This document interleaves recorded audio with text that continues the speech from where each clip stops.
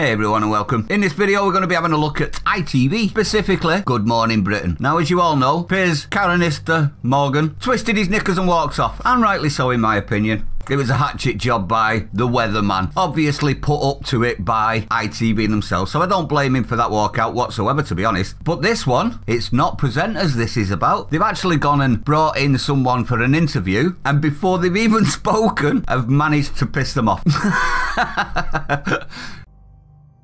And I do believe that we have rotten, rotten politics, and I'm, I'm not using that as an exaggeration. Now, you're probably wondering who it is. Well, it's actually Patsy Palmer. Do you remember Patsy Palmer? She was in EastEnders for 13 years as Bianca Jackson. Remember this? Bianca! Ah! No, catchphrase. Ricky! There you go. Ricky! Bianca!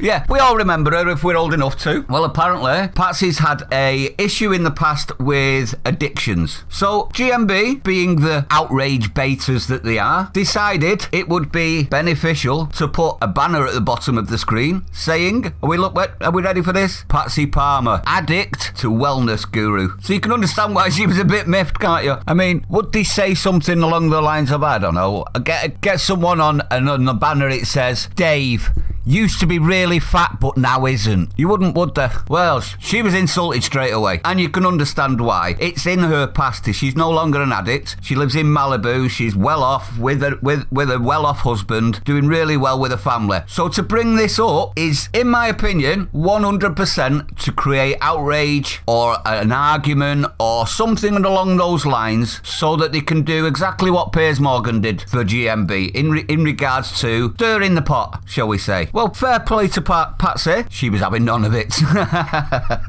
she effectively said, I'm sorry, I don't have to do this interview and I don't even want to do this interview because I don't even want to look at what it says at the bottom of the screen. So she's got annoyed straight away. I wouldn't say angry. I, I wouldn't say. No, she didn't go like full Hulk straight away, did she? She was just, yeah, well, the thing is, I mean, would you go, they've invited her onto the show to be a guest interview, Yeah. and before she's even opened her mouth, they've insulted her. No, I would be a bit peeved to be truthful. She's already spoken extensively about her addictions. Over the years, yeah. So this is bringing up her past. Well, it's been over what ten years since she's last took them. Thirteen years, maybe longer. Now she's got children as well. Yeah. So I can understand it. So she actually shut off in mid conversation, the interview, and rightly so. How did they respond? Well, they went a bit wimpy, to be honest.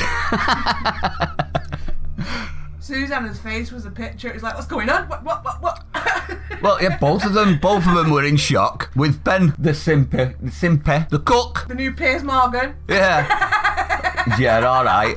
Ben, new Piers Morgan. Okay. Well, he was repeating, it wasn't our intention to, to upset Patsy Palmer. We were very keen to talk to her. Yeah, so keen that you insulted her. Then Susanna said, she referenced Piers' dramatic exit from the programme last week, adding, everyone has a right not to be on this programme if they don't want to be, as we know. I'm wondering, did they ask her about this title? I'm, I'm sure they didn't with the response they got, which says that they were intended and intending for this outrage. And fair play to Patsy, she 4D chessed them and outraged them first. But flip it, it could also be a publicity stunt to get the ratings back, because we all know that the ratings are dropping on the show.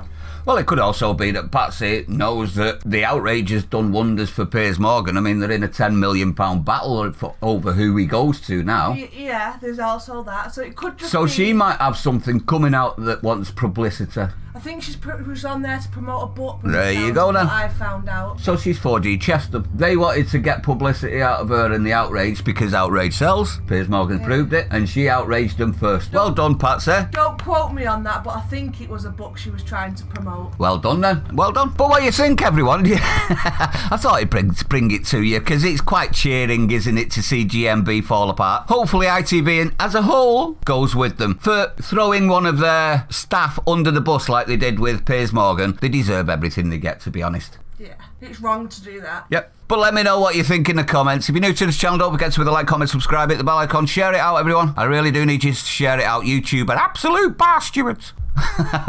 Stay sane. I'll see you on the next one. Poodles! Toodles! Toodles.